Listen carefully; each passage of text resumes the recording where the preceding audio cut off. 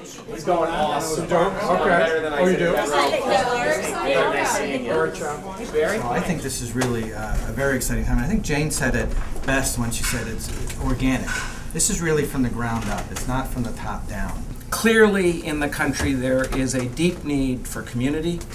Uh, that's what we're all about. We're your neighbor who brings you the news. We're neighbors reporting about neighbors for neighbors. It won't be a great community news meeting unless you make it your community news meeting. And community begins with communications. You can't have community without communications.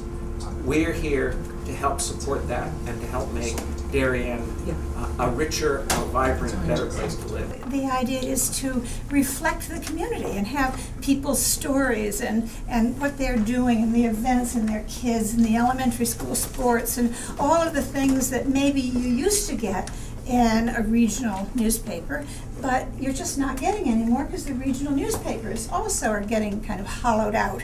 What you care about is the Daily Darien. We want you to embrace it, hold it close to your heart as we do, and help keep uh, help us make it the best uh, news source for you in this community.